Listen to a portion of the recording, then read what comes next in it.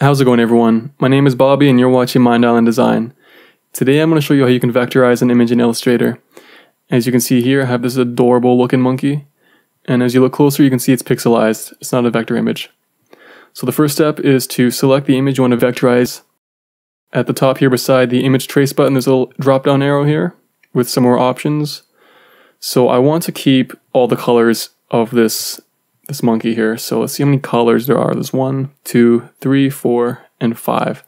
So first I'm going to try the six colors option. So when I zoom in, as you can see it is vectorized, nice and smooth edges. However, the eyes are warped and it just doesn't look like the original image. So I'm going to undo that option. Um, see what else we got here. There's a high fidelity photo option. So this will give us the the most detail in the original image. However, I find personally that it just it warps and discolors the original image, so I rarely use this option. Uh, let's try the low fidelity. And I think this will be the best option here. The eyes are looking pretty good. There's just some little disfiguration around the tail and the head, and, and uh, that'll be easy to fix. So the next step is to select the image we just traced and we want to click expand at the top here. All right, perfect. So now if we wanted to adjust these little disfigurations, we just got to select the points that we want to uh, adjust and just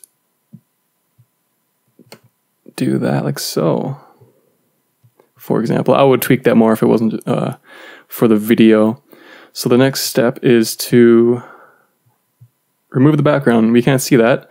So if I go to view, show transparency grid, as you can see, there's still the background here. So we want to get the direct selection tool and select the background that we want to remove and hit delete and just copy that process all around the monkey here or whatever your image is going to be.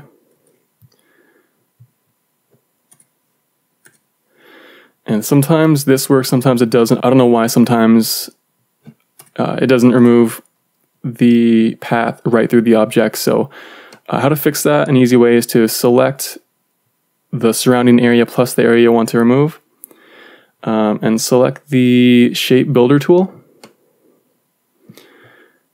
and hold options and delete.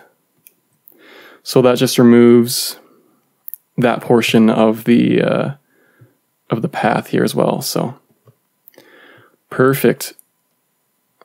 And in there is good as well. And there we are. We have a nice vectorized image of the monkey.